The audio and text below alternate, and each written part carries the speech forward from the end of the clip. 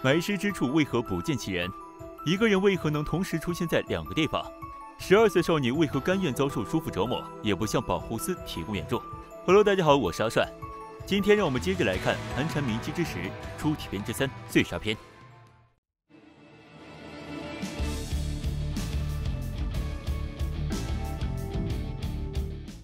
从东京搬来楚建泽不到一月，归一就已经融入了这个村子。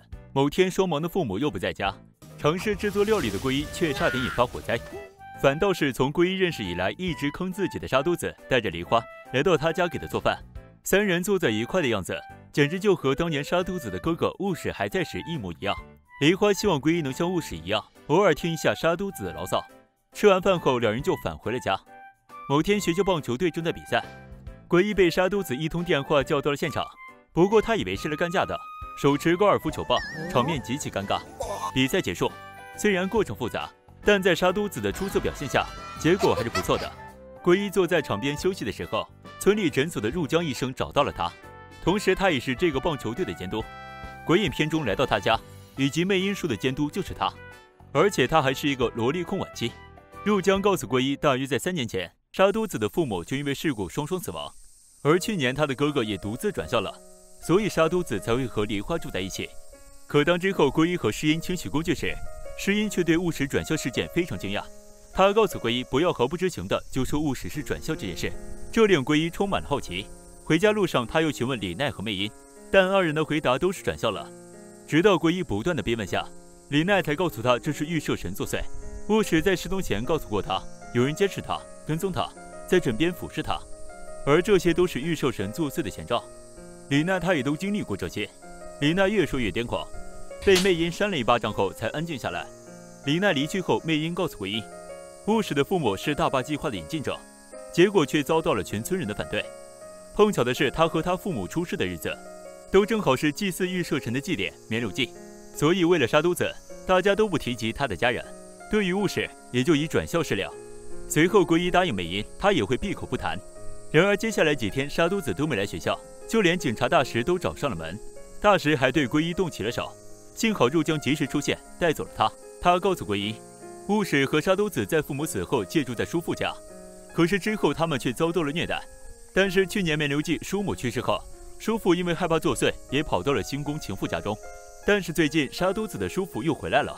放学后，归一来到了沙都子家，正好遇到入江先生带沙都子回家。他的叔父北条铁平为了招待朋友，让沙都子去买了很多东西。归一看到沙都子身上的伤，非常愤怒。却被入江先生给拦了下来。不过沙都子还是非常感谢归一，因为从此刻开始，他又有了归一哥哥。之后入江又告诉归一，沙都子把叔父对自己的虐待当做了对自己的试炼，他觉得只有克服了这一切，务实才会回来。这就是沙都子活着的意义。第二天，归一偶遇了富竹和鹰眼，从他们口中得知作祟事件其实是以御三家为首的全村行动，于是他找到了现役三家之首元齐家的下任家主元齐魅音。希望他能将今年的作祟对象改为沙都子的叔父北条铁平，只可惜事实并非如此。魅音以及御三家并没有这个能力。没多久，沙都子来到了学校，因为有人叫来了保护司，这令沙都子有些愤怒。他并不承认这是虐待，所以就赶跑了他们。随后，梨花告诉桂一，其实这已经是第三次了。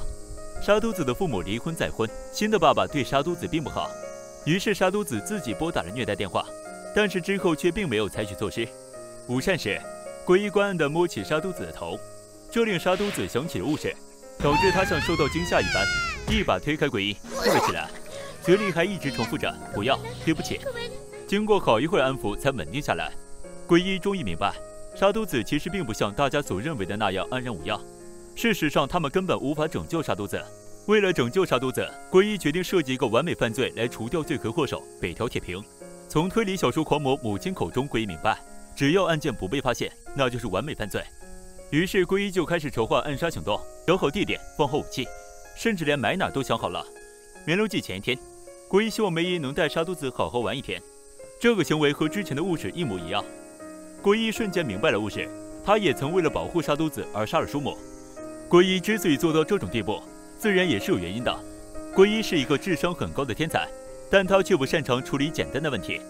这就导致他在学校常常因为成绩优异而被同学欺负。甚至发生了事件被迫转学。但在楚建泽一切都不一样了，所有人都对他非常好，他是真的把沙都子当做了妹妹。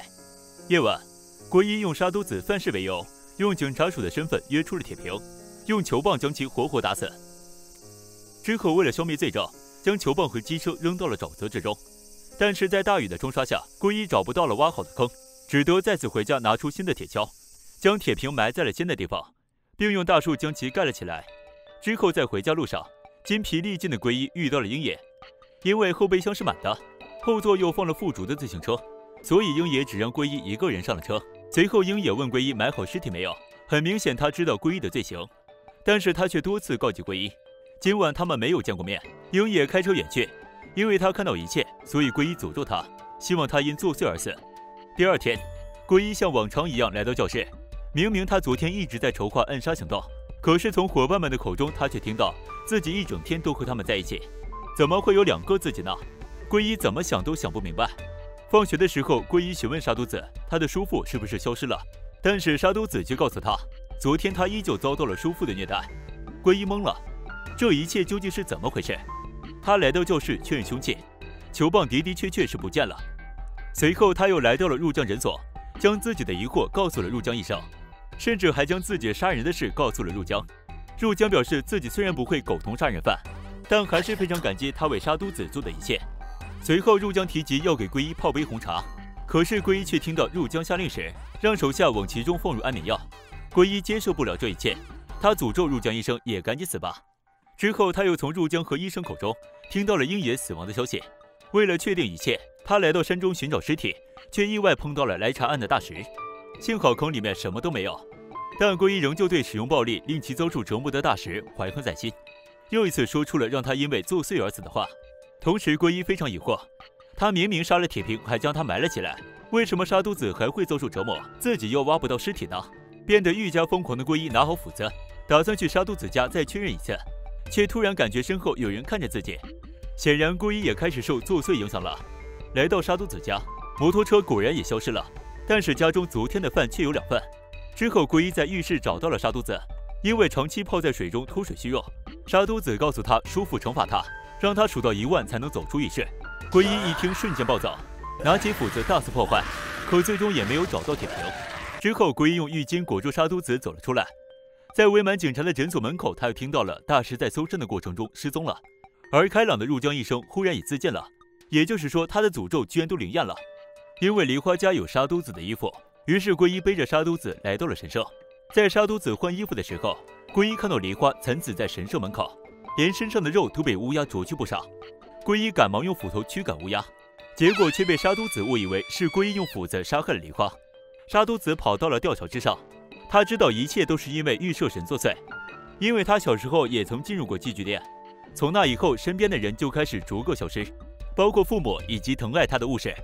而如今好不容易迎来了曙光，作祟对象却轮到了归一。随即沙都子一把将归一推下吊桥。虽然一切都显得不公，但归一却一点都不后悔。当晚电视上播出了一则新闻：楚建泽遭到了罕见灾害，全村人都因为火山喷发而涌出的大量瓦斯流而死亡。全村只有一个幸存者，居然是恰好坠落河流的归一。就此，出题篇之三碎沙片完结。可能有些小伙伴没有很明白铁平的死以及归一参加绵流祭的事。这边阿帅再给大家简单梳理一下：归一杀了铁平，自然是肯定的。球棒以及机车的消失都证明了一切。那么尸体为什么会消失呢？其实原因很简单，归一事先挖的坑迷路找不到了，之后埋铁平的是第二个坑，而之后归一找到的又是第一个坑，所以自然找不到尸体了。那归一为什么会参加绵流祭呢？其实他并没有去祭典，那只是伙伴们在帮他做不在场证明而已，就像绵流篇中施音替务实佐证一样。再加上沙都子说叔父仍在虐待他，这样一来就好像真的无事发生一样，也就真的变成了归一所渴望的完美犯罪。碎沙篇就先到这了，后面我们来看一段不一样的故事，在这将会引出一位在之后的影片中具有重要意义的角色——赤坂卫。昭和五三年，楚建泽灭村的五年前，为了保护村子，楚建泽的村民与机动队进行了惨烈的交锋，甚至连建筑大臣的孙子都遭到了绑架。为了调查此案以及大坝建设的反对团体。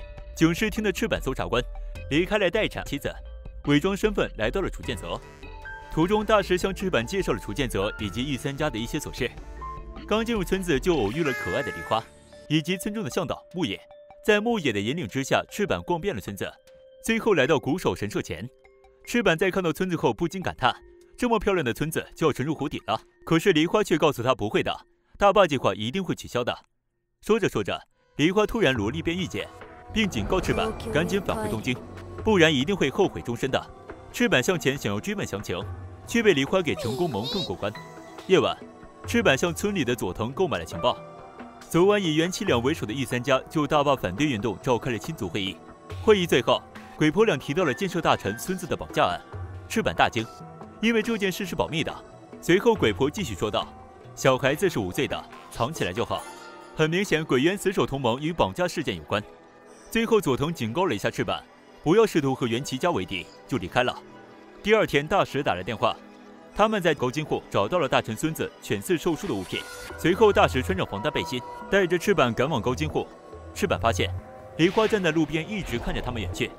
途中，他们还遇到了刚给寿树看完病的入江一少，他给赤坂二人指引了方向。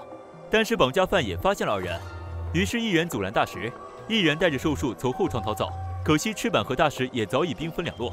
在大石和对方纠缠的时候，赤坂也追回了寿树。虽然之后罪犯开枪打伤了赤坂，但好在大石也及时赶上，最终还是成功救回了寿树。之后，受伤的赤坂在入江诊所疗伤。大石告诉他，大坝建设计划被冻结了，显然是以寿树为人质交换的结果。即使他们什么都不做，寿树也不会有事。夜晚，正当赤坂想打电话时，却发现所有电话线都被梨花剪断。梨花告诉赤坂，即使打通了电话，也只会让赤坂伤心，因为他的妻子美代在当天晚上摔下楼梯身亡了。所幸的是留下一个女儿美雪。不过这是此刻的赤坂所不知道的。赤坂没有追问，而是将梨花带回了家。随后梨花说今天是绵流祭，但是村里人的作为却根本不是。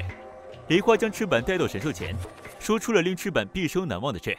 梨花预言了未来五年所有的作祟事件。